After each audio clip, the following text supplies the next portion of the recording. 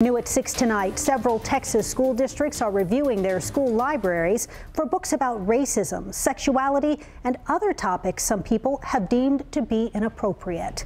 But as KVUE's Connor Board tells us, that review of children's books is now happening at some public libraries. Usually these doors would open to the Llano County Library, but this week the library is closed as staff is having to review books and DVDs after concerns from the community and local leaders.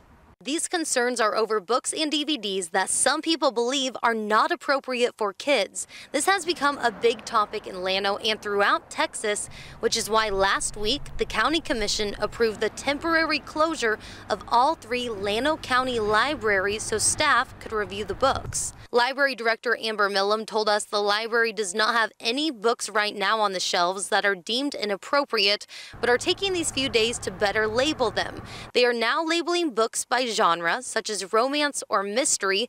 They are also putting bright colored stickers on DVDs to make the ratings for each movie more obvious. This move by Llano County leaders comes after Republican State Representative Matt Krause called for school districts to remove books from school libraries that are racist, sexist, or address things like sexuality and STDs.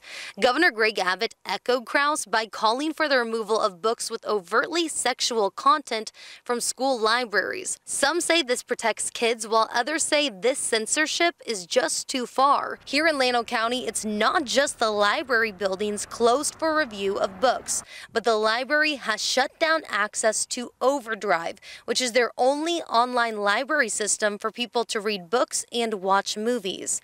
Last week, the County Commission approved an item to stop the use of Overdrive, and there's no set date for online access to restart. And more changes are expected to come for the library. Llano County Commissioner Mike Sandoval tells us an advisory board of 13 people is being created to look over the public library library system and Overdrive to decide best steps moving forward. The 13 people will be appointed by commissioners and the county judge.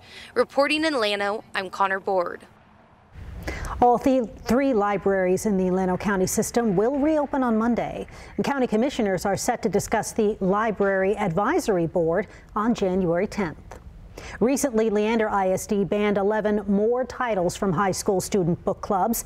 During public meetings, parents spoke to district leaders about one book in particular, saying it was inappropriate for students because of its sexual content.